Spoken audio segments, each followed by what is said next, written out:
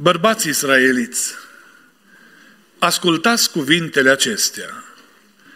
Pe Iisus din Nazaret, om adeverit de Dumnezeu înaintea voastră prin minunile, semnele și lucrările pline de putere pe care le-a făcut Dumnezeu prin El în mijlocul vostru, după cum bine știți, pe omul acesta, dat în mâinile voastre, după sfatul hotărât și după știința mai dinaintea lui Dumnezeu, voi l-ați răstignit și l-ați omorât prin mâna celor fără de lege.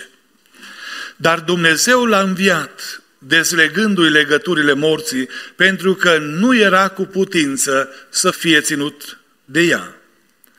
Căci David zice despre el, eu aveam totdeauna pe Domnul înaintea mea, pentru că El este la dreapta mea ca să nu mă clatin. De aceea, mi se bucură inima și mi se veselește limba, chiar și trupul mi se va odihni în nădejde, căci nu vei lăsa sufletul în locuința morților și nu vei îngădui ca Sfântul tău să vadă putrezirea. Mi-ai făcut cunoscut căile vieții și mă vei umplea de bucurie cu starea ta de față.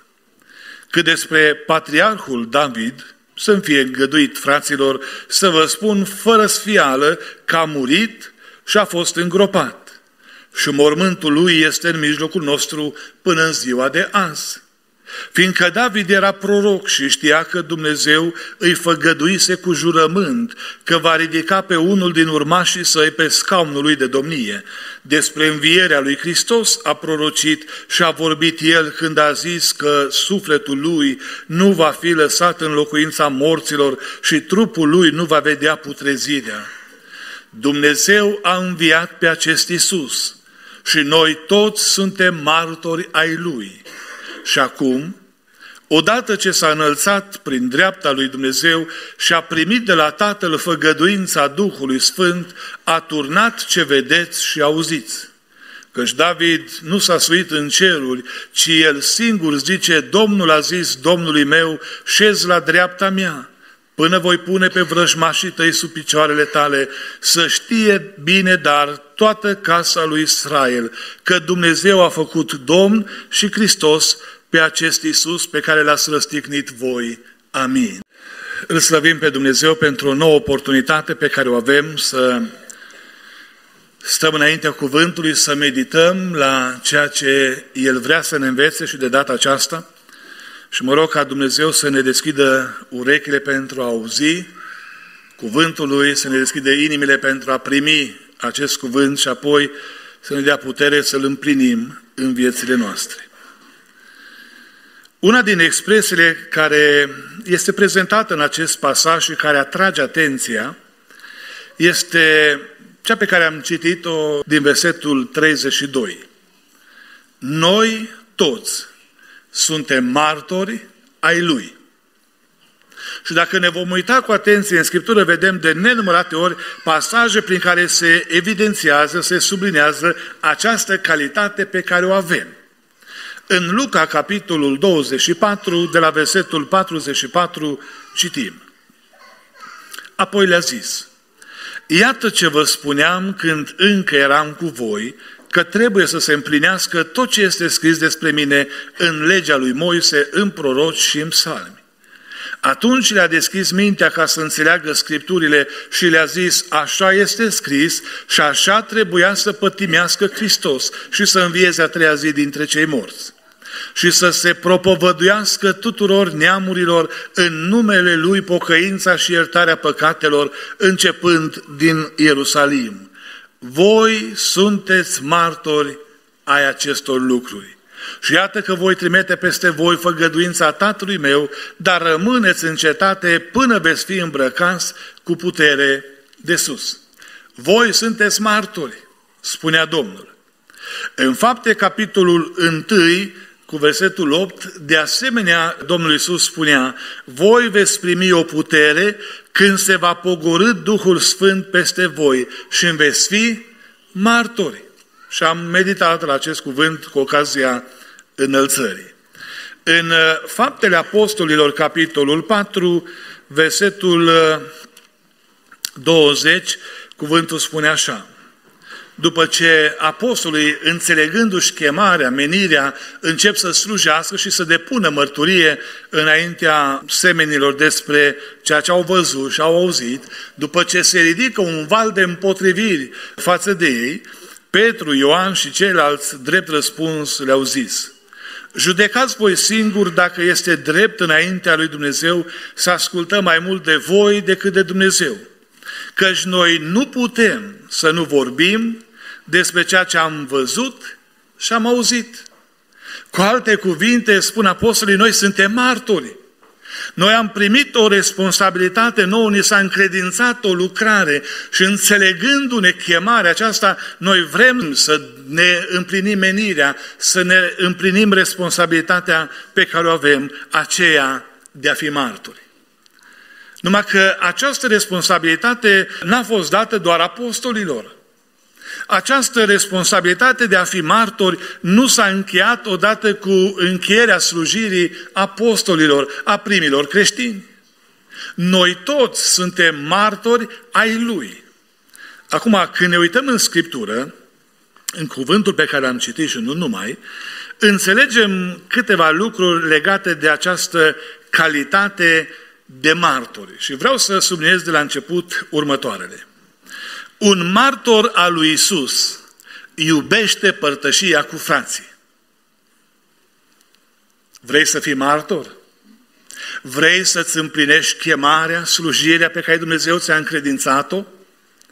Vrei să fii în rândul celor care, înțelegându-și chemarea, sunt gata să depună mărturie despre El? Un martor al lui Isus iubește părtășia cu frații. Versetul 1. În ziua cinzecimii erau toți împreună în același loc. Erau toți împreună și nu odată vedem imaginea aceasta, ni se prezintă această imagine extraordinară a părtășiei frățești, a părtășiei la oaltă. Părtășie care exprimă bucuria. Și nu mai mare bucurie decât să fii împreună cu frații tăi. Nu-i mai mare bucurie decât să fii la închinare împreună cu cei răscumpărați. Nu-i mai mare bucurie decât să fii în prezența Domnului, să asculți cuvântul Domnului, să te închini înaintea Domnului. Este o bucurie extraordinară și toți aceia care au înțeles lucrul acesta, nu odată au spus, mi se bucură sufletul în Domnul, sufletul meu mărește pe Domnul. Era o bucurie care se manifesta atunci când credincioșii se adunau la oaltă. Dar dincolo de toate oportunitățile pe care le avem atunci când venim la oaltă, și asta ar trebui să motiveze cu atât mai mult bucuria, bucuria noastră este dată de faptul că în Hristos noi am fost eliberați de păcat. În Hristos noi am fost răscumpărați. Și atunci când ne întâlnim la oaltă în părtășie sfântă, ca martori ai lui Hristos, bucuria noastră este deplină nu atât pentru ceea ce putem face pentru Domnul, ci pentru ceea ce El a făcut pentru noi. Mă bucur că mă pot închina, mă bucur că mă pot ruga, mă bucur că pot să ascult cuvântul. E o bucurie. Dar dincolo de toate acestea, mă bucur că El m-a răscumpărat, El m-a iubit, El m-a primit și pe mine, deși eram un fiu rătăcitor. El și-a arătat dragoste față de mine, deși i-am întors spatele poate atâta vreme. El încă mă așteaptă cu brațele deschise, chiar dacă poate de atâta timp stau nepăsător față de El. Îl ignor, deși poate că sunt în casa Domnului și vin de atâția ani în locul acesta. Un martor al lui Isus iubește părtășia cu frații, părtășie care exprimă bucuria și frați și surori tineri. Aș vrea așa de mult că atunci când ne întâlnim, lucrul acesta să fie un prilej de bucurie. Fără îndoială că toți avem și motive de întristare. Sunt lucruri care ne amără sufletul uneori, sunt suferințe în trup, sunt atâtea lucruri care ar putea să ne justifice oarecum starea noastră de uh, apăsare, dar când venim la închinare, ceea ce ar trebui să ne definească, ceea ce ar trebui să se vadă pe fețele fiecăruia este bucuria. Un martor al lui Isus iubește părtășia cu frații, părtășie care întărește unitatea. Și continuă cuvântul și spune așa, în ziua cinzecimii erau toți împreună în același loc. Erau împreună în același loc. Era o exprimare a unității și era o întărire a unității în ciuda împotrivirilor, în ciuda amenințărilor cu care se confruntau. Uh, nu erau vremuri prea prielnice pentru a fi la oaltă și totuși folosesc fiecare prilej pe care l-au să fie la oaltă și această prezență în părtășie întărește unitatea. Avem învățământ la distanță. Dar vreau să știți că părtășia și unitatea nu se poate realiza la distanță. Sunt multe lucruri pe care le putem face la distanță. Dar dacă vrem să se întărească unitatea între noi ca și credincioși, asta înseamnă că trebuie să venim la oaltă. Cei credincioși care își înțeleg calitatea de martori, iubesc părtășia, părtășia cu frații și fac tot ce pot ca să nu lipsească de la părtășia cu frații și asta îi va motiva să se bucure de fiecare dată când se întâlnesc, dar asta va și contribui la întărirea unității. Nu poți să slujești cu eficiență, nu poți să-ți împlinești menirea dacă nu poți să fii în unitate cu fratele tău, să fii una cu Hristos.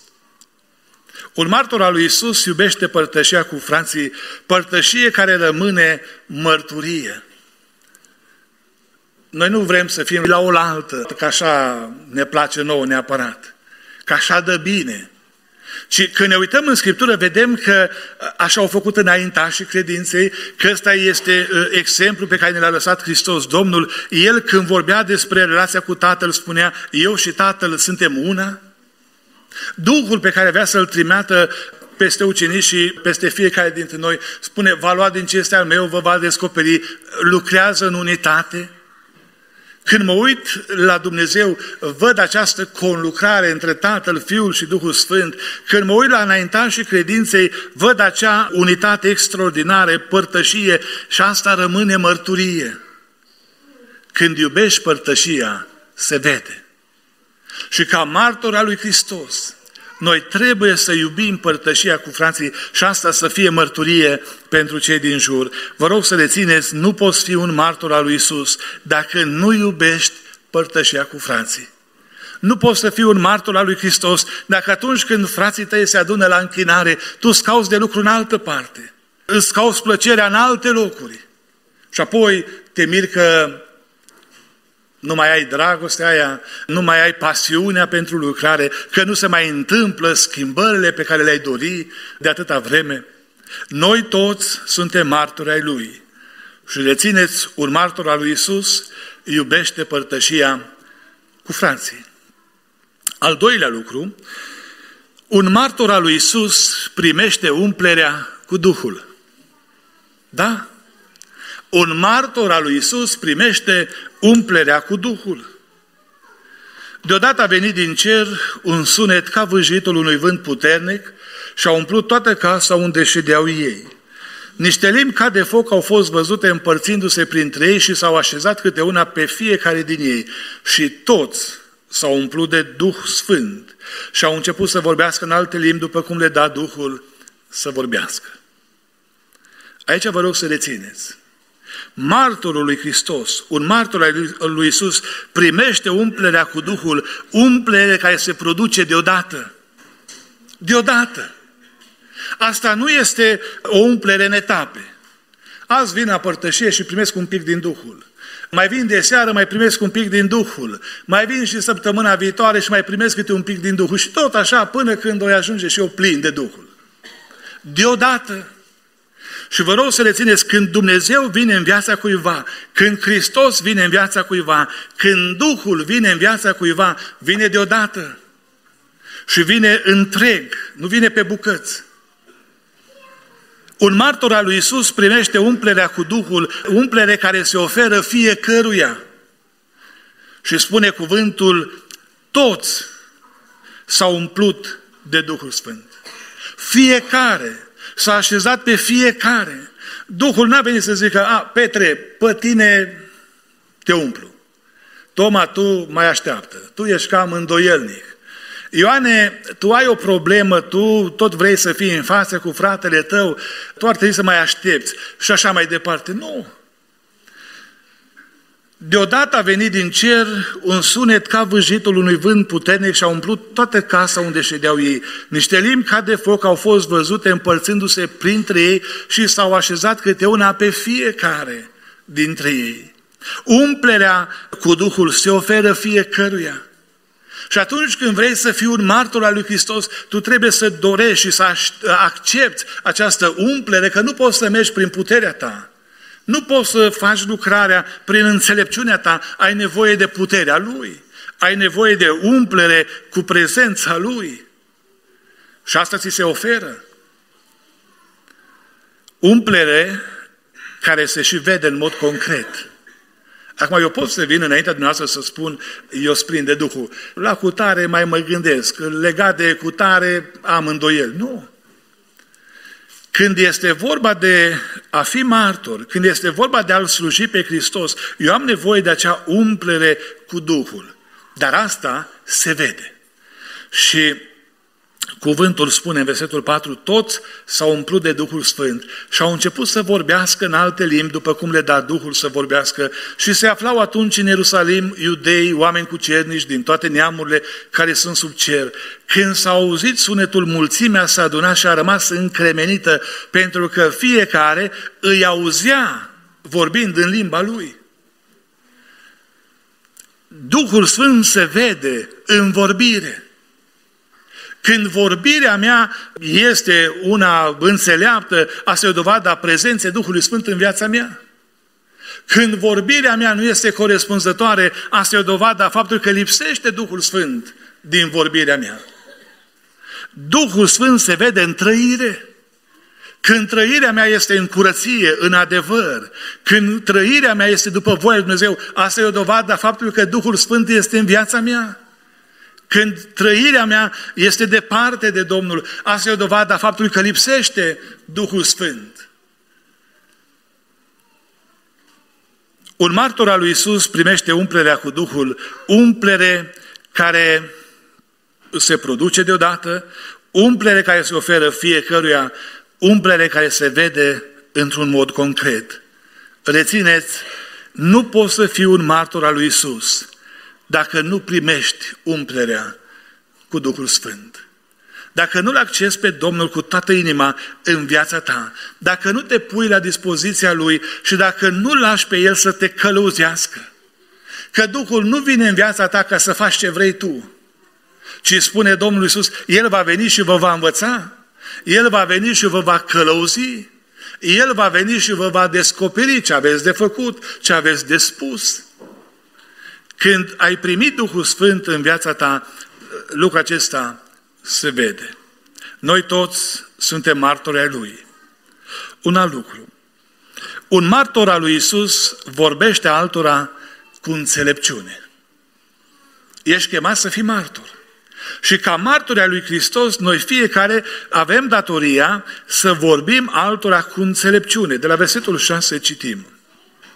Când s-a auzit sunetul acela, mulțimea s-a adunat și a rămas încremenită, pentru că fiecare îi auzea vorbind în limba lui. Toți se mirau, se minunau și ziceau unii către alții, toți aceștia care vorbesc nu sunt galileieni? Cum dar îi auzim vorbind fiecăruia din noi în limba noastră în care ne-am născut? Parți, mezi, elamiți, locuitori din Mesopotamia, Iudeia, Capadocia, Pont, Asia, Frigia, Pamfilia, Egipt, părțile Libiei dinspre Cirena, oaspeți din Roma, iudei sau prozeliți, cretanși și arabi.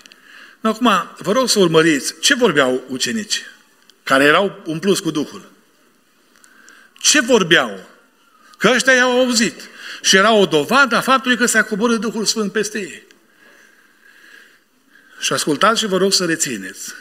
Îi auzim vorbind în limbile noastre lucrurile minunate ale lui Dumnezeu. Lucrurile minunate ale lui Dumnezeu, prezența Duhului Sfânt în viața ta te determină să vorbești despre lucrările minunate ale lui Dumnezeu. Dumnezeu nu-ți dă Duhul Sfânt ca să te evidențiezi înaintea altora, să arăți cât de grozav ești, cât de spiritual ești. Prezența Duhului Sfânt în viața mea mă determină să vorbesc dar să vorbesc cu înțelepciune, astfel încât să pot fi înțeles. O vorbire care poate fi înțeleasă. Și cei care se aflau atunci acolo în Ierusalim spun, fiecare îi auzea vorbind în limba lui. Erau limbi cât se poate de înțelese. Și asta era o mărturie și era o dovadă a lucrării lui Dumnezeu și a faptului că în dragostea lui Dumnezeu include pe toți. Că mântuirea nu e rezervată numai pentru unii. O vorbire care poate fi înțeleasă. Pavel în uh, Corinteni, 1 Corinteni, capitolul 2, versetele 12 și 13 spune așa. Și noi n-am primit Duhul lumii, ci Duhul care vine de la Dumnezeu, ca să putem cunoaște lucrurile pe care ni le-a dat Dumnezeu prin harul său.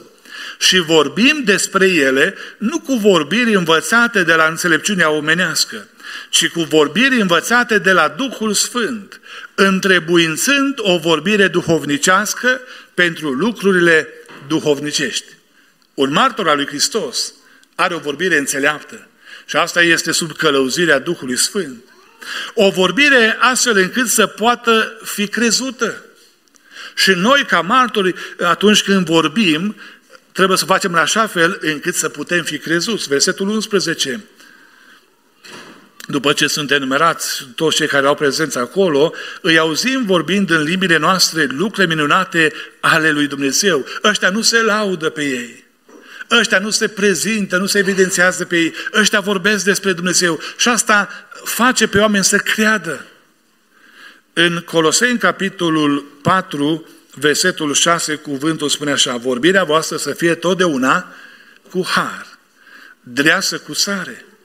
În 1 uh, Petru, capitolul 4, versetul 11, Petru spunea, dacă vorbește cineva, să vorbească cuvintele lui Dumnezeu. Dacă vrei să fii crezut, atunci vorbește despre El. Atunci vorbește călăuzit fiind de Duhul lui Dumnezeu. Un martor al lui Isus vorbește altora cu înțelepciune și asta îl face să fie înțeles, asta îl face să fie crezut și asta îl face să fie urmat.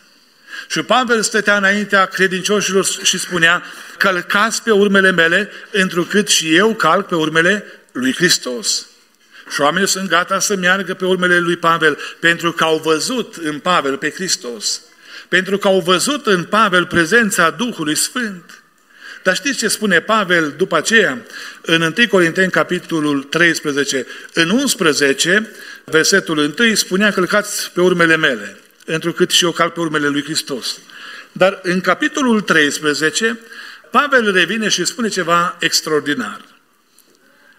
Chiar dacă aș vorbi în limbi omenești și îngerești și n-aș avea dragoste, sunt o aramă sunătoare sau un chimval zângănitor. La ce folos o vorbire interesantă, frumoasă, dar dacă nu-i dragoste? Numai gălăgie.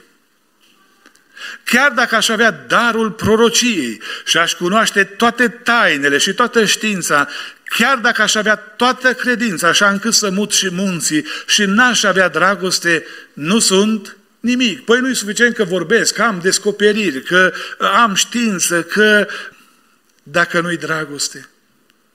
Și chiar dacă mi-aș împărți toată averea pentru hrana săracilor, chiar dacă mi-aș da trupul să fie ars și n-aș avea dragoste, nu îmi folosește la nimic. Noi toți suntem martori al lui Isus. Dar un martor al lui Isus este atent la vorbire, vorbește altora cu înțelepciune și asta te face să fii înțeles, asta te face să fii crezut și asta te face să fii urmat. Nu poți să fii un martor al lui Isus dacă nu știi să vorbești cu înțelepciune. Dar nu poți să fii un martor al lui Isus dacă vorbirea ta, chiar înțeleaptă, nu-i motivată de dragoste, nu-i bazată pe dragoste, Că eu pot să spun niște adevăruri, dar dacă nu sunt dragoste, mai mult stric. Degeaba îi spun unui om, unei persoane, un anumit lucru, chiar adevărat. Dacă nu o fac cu dragoste, mai mult îl rănesc sau îl pierd chiar. De aceea, Pavel atrage atenția în privința aceasta și prin cuvânt suntem îndemnați să fim cu luarea minte. Noi toți suntem martori ai Lui. Ce fel de martori ești? Când alții privesc la tine, la viața ta, ce mărturie depui. Un martor al lui Isus iubește părtășia cu frații. Un martor al lui Isus primește umplerea cu Duhul. Un martor al lui Isus vorbește altora cu înțelepciune. Pe de altă parte, un martor al lui Isus cunoaște Scriptura cu adevărat. Versetul 14. Atunci Petru s-a sculat în picioare cu cei 11, a ridicat glasul și le-a zis, Bărbați iudei și voi toți cei care locuiți în Ierusalim, să știți lucrul acesta și ascultați cuvintele mele. Oamenii aceștia nu sunt bes cum vă închipuiți voi, căci nu este decât al treilea ceas din zi, ci aceasta este ce a fost spus prin prorocul Ioel. Ma nu vă întreb cine e Ioel și ce-a făcut. Dar știți ce e frumos aici? Că prin cuvântarea lui, Petru, ca și ceilalți, dovedesc un lucru extraordinar. Cunoșteau Scripturile. Și subliniez faptul că nu poți fi un martor al lui Hristos dacă nu cunoști Scriptura. Un martor al lui Isus cunoaște Scriptura cu adevărat, fapt care îi oferă siguranță. Și Petru stă înaintea mulțimilor și atât de sigur vorbește, are siguranță pentru că nu-i părerea lui. Când vii înaintea altora și vorbești, dacă sunt părerile tale, s-ar putea să te îndoie și uneori s-ar putea să iasă rău. Că nu întotdeauna toți sunt gata să aprecieze părerile pe care le ai. Dar când ceea ce spui este din cuvântul Lui Dumnezeu, atunci ai siguranță că e, e cuvântul Lui. Așa vorbește Scriptura. Și Petru stă înaintea mulțimilor și prezintă ceea ce spune Scriptura, dar asta pentru că o cunoaște. V-am încurajat la început de an să citim Scriptura. Pe unde sunteți cu cititul? Am dovedit credincioșie și în privința aceasta? Ne-a preocupat să ne apropiem de Domnul și să-L cunoaștem mai mult și să cunoaștem cuvântul Lui. Noi toți suntem martori al lui Isus. Dar ca să poți să depui mărturie despre El, trebuie să cunoști Scriptura și asta îți oferă siguranță. Uneori, poate că am zis fiecare, dar ce să spun? Dar nici nu știu ce să spun. Păi citește Scriptura și spune ce zice Scriptura. Un martor al lui Isus cunoaște Scriptura cu adevărat, un fapt care oferă autoritate. Aceasta este ce a fost spus prin prorocul Ioel.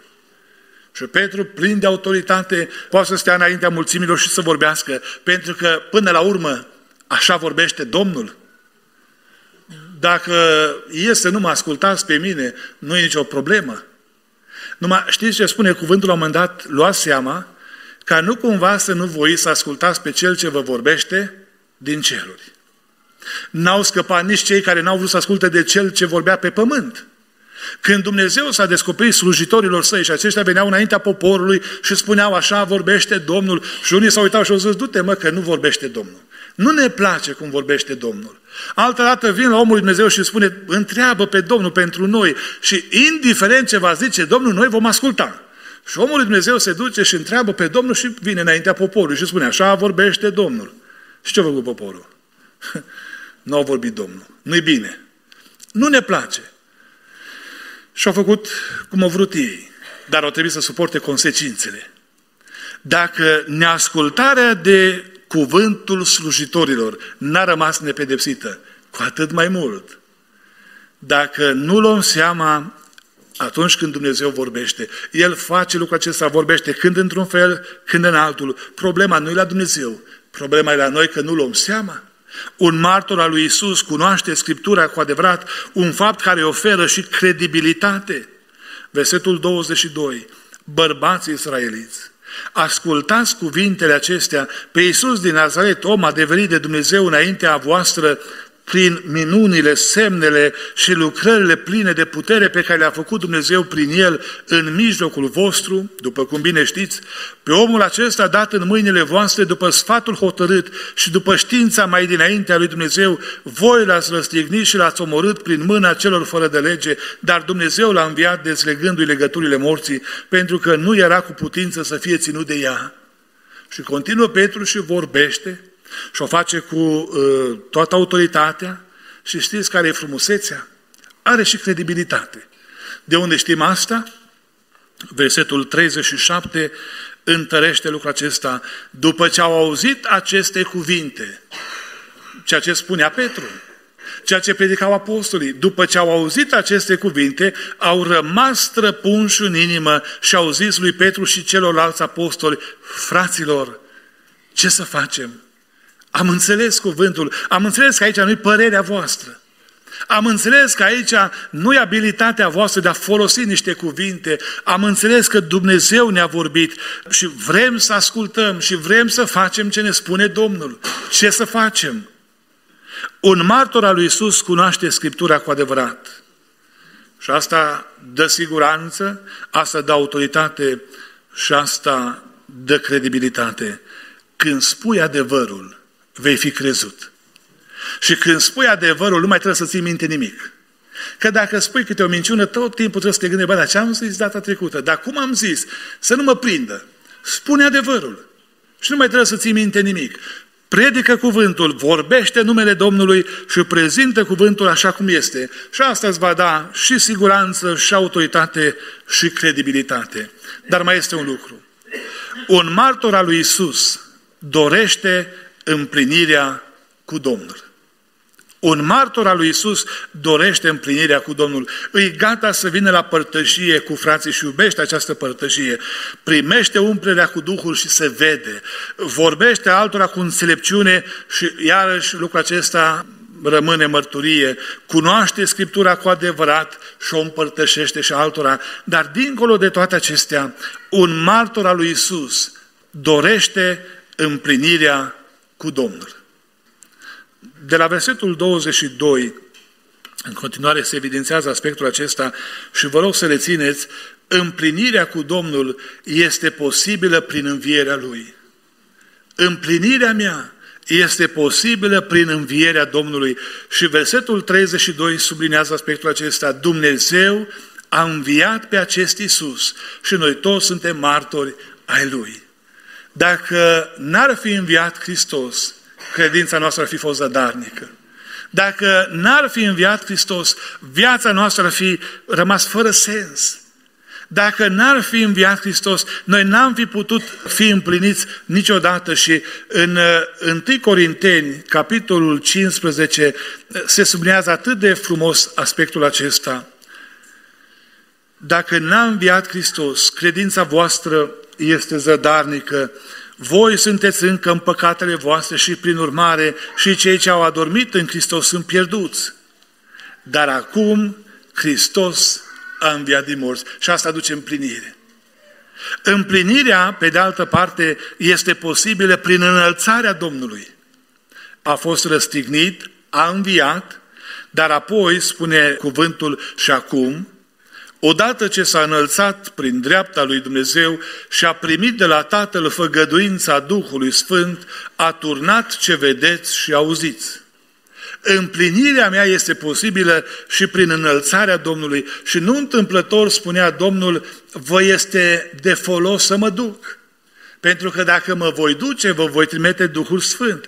Când va veni mângâietorul, Duhul adevărului, are să vă călăuzească în tot adevărul, căci El nu va vorbi de la El, ci va vorbi tot ce va fi auzit și vă va descoperi lucrurile viitoare. El mă va proslăvi pentru că va lua din ce este al meu și vă va descoperi.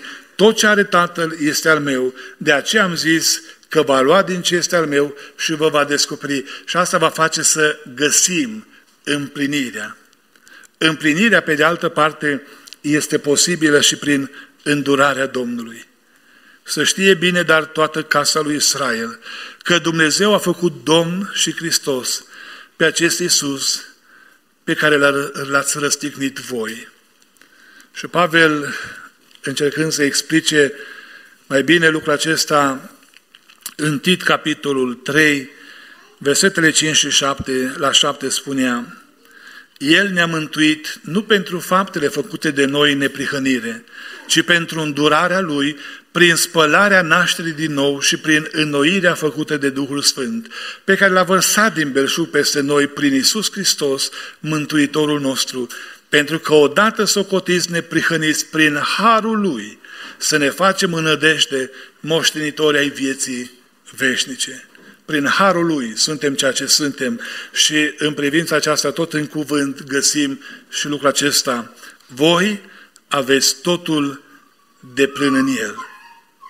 Nu lumea îți aduce împlinirea, nu prietenii îți aduc împlinirea, nu lucrurile materiale îți garantează împlinirea, împlinirea noastră o avem în mod de plin alături de Domnul.